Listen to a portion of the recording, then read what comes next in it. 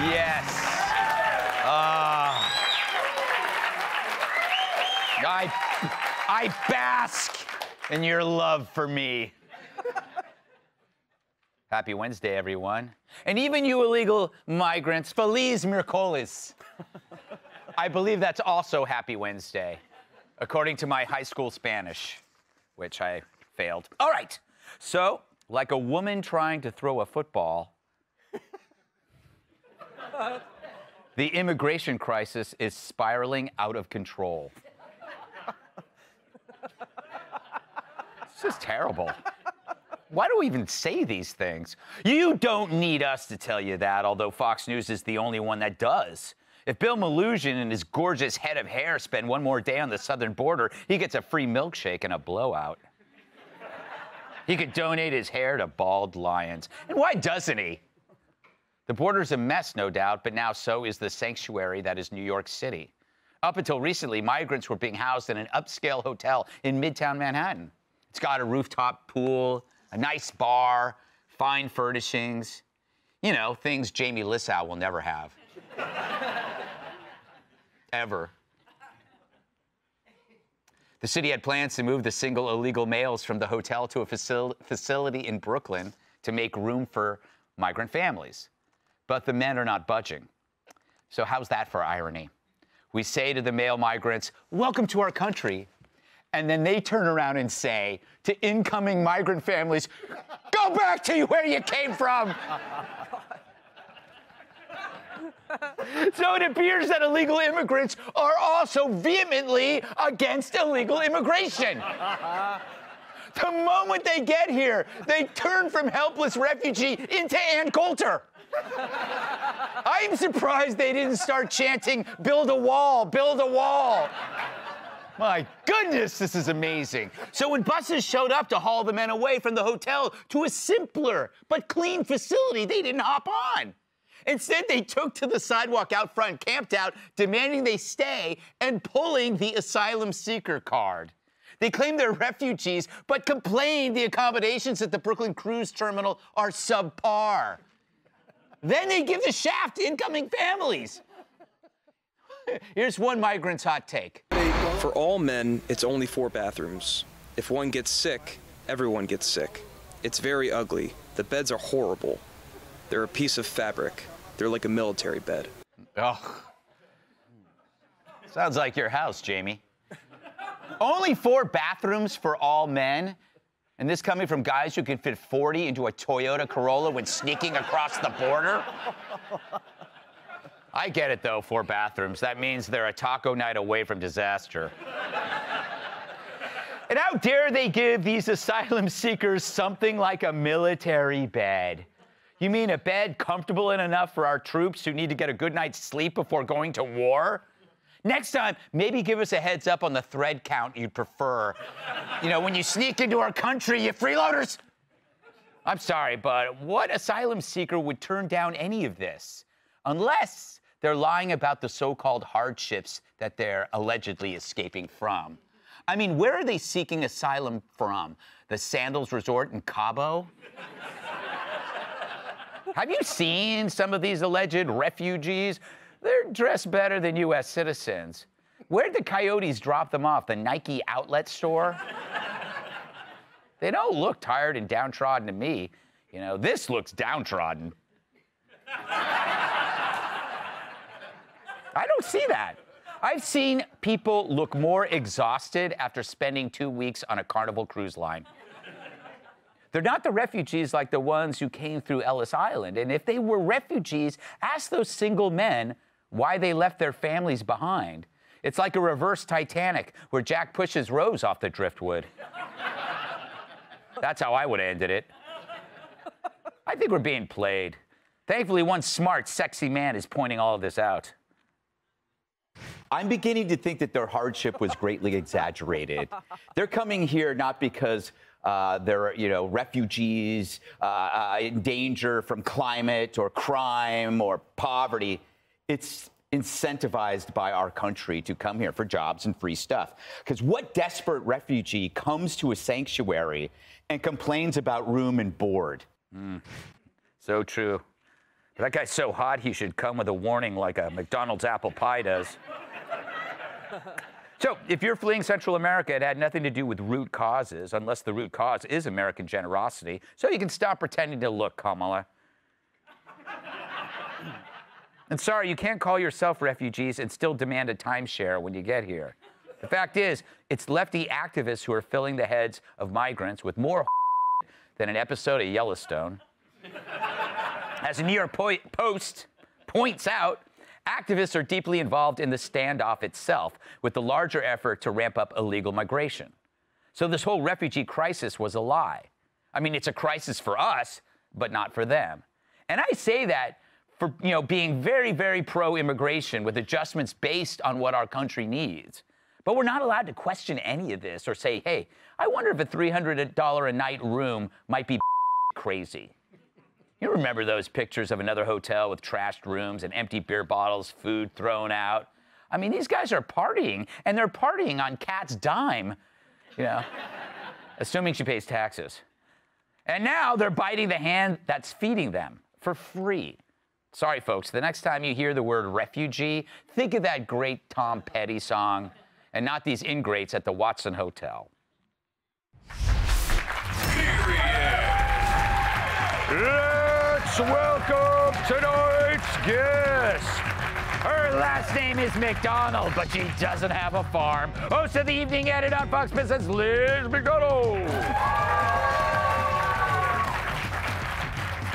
Not only does this man write the news, he delivers it on his paper route. Fox News contributor and Washington Times opinion editor, Charlie Hurt.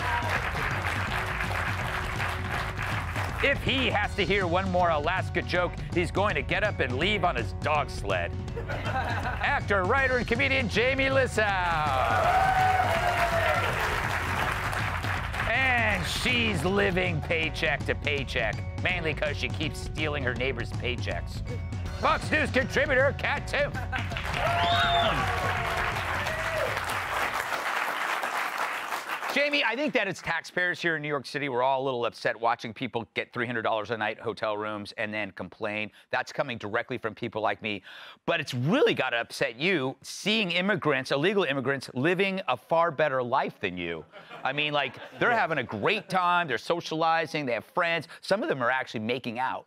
Yeah, some of them, some of them are allowed near girls. Like, what the? um, you really just when you were describing, I was like, oh my, like rooftop pool. I never, I don't even have a floor top pool. um, you know how much more expensive it is to get it up there, and um, it's really frustrating. And that's like a, I, I, this whole story blew my mind, especially the thing about them sending other families away. Yes. Right? And right near there, there's much more affordable housing, by the way, like just a little bit down. I stayed in, a, it's not like the best area, but I stayed in a hotel a couple blocks from there last time I was here. Not a great area. I remember I went to the front desk and I go, hey, where's the men's room? And she goes, just anywhere outside. um, can I do really quick? I have yes. one point yes. and one joke, unless nobody laughs, and then I have two points. um,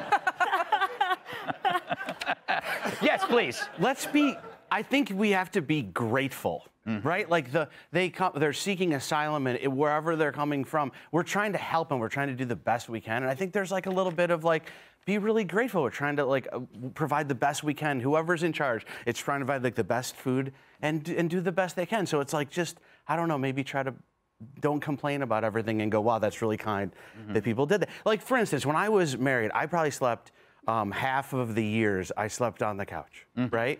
But I was like, at least I'm inside the house. Mm, yeah. Do you know what I mean? That's like a good place to be. That's what they should do. I was on the couch so much, like when my kids wanted to watch, they'd be like, Dad, do you mind if we sit on your cry bed and watch a movie? that was a point and a sad very sad story. oh man, um, Charlie, I have to ask you that, or this it, when it when it dawned on me that the that the male illegal immigrants were telling they didn't want to move to the families, they are definitely going to be Republicans. Yeah.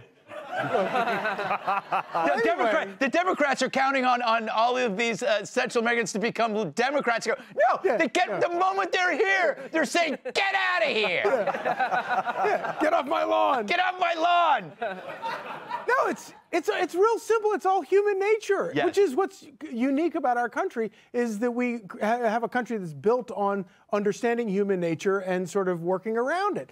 But it's just basically, Of course, they don't want new people coming in and taking their stuff any more than anybody else does. The whole country doesn't want it. Yeah. But it is true. The whole thing, not, not that the crisis isn't real, it, the crisis is real, but it is an entirely manufactured one, manufactured by politicians. It's entirely a scam. And all of these people are pawns. And when, and when Democrats criticize Republican governors for using migrants as pawns, no, they're not. You're using them as pawns, and you've been using them as pawns to, to, to, in order to build up this insane charade about racism in America um, they, they are the ones who are actually abusing these people. You made me, I, you know, I drifted off. I was thinking about a, like a New Yorker cartoon I should submit.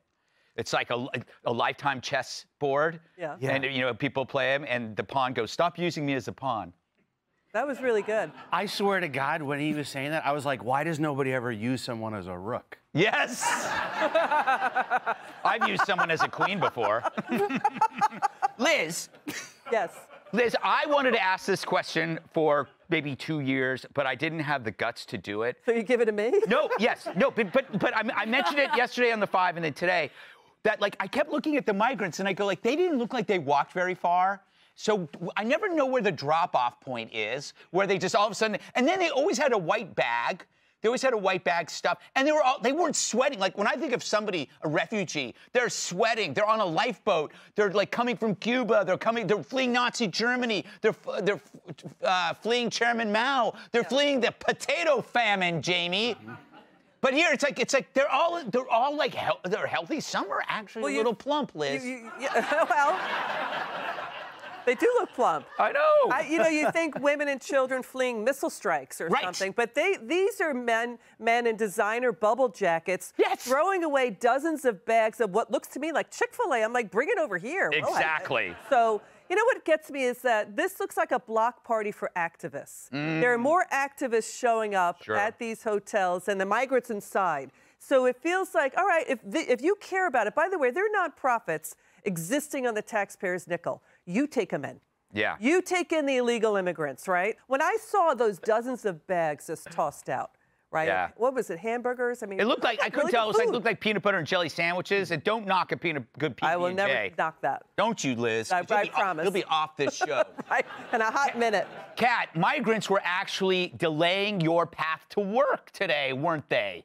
Yes. What? Ha- tell us about it, please. Okay. Well, I know we're talking about this as like an immigration crisis, and it proves the immigration crisis is out of control. For me, the thing I notice about this most is it proves how insane the welfare state is. Right. Okay, this is a welfare issue first and foremost because, like you said, Charlie. Like if you're in a luxury hotel room for free and being like get out of here for to be like I don't wanna is like not the craziest thing I've ever heard.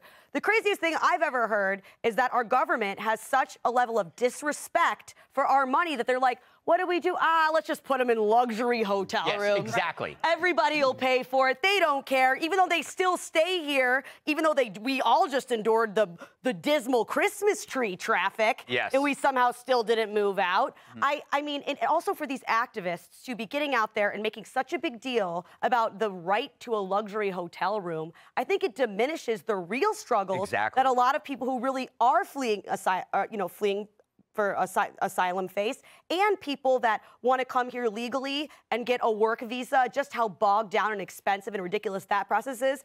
Focus on those things. The, the, the right to a luxury hotel room is not what any real struggling person is so pissed off about. Hey, Sean Hannity here. Hey, click here to subscribe to Fox News YouTube page and catch our hottest interviews and most compelling analysis. You will not get it anywhere else.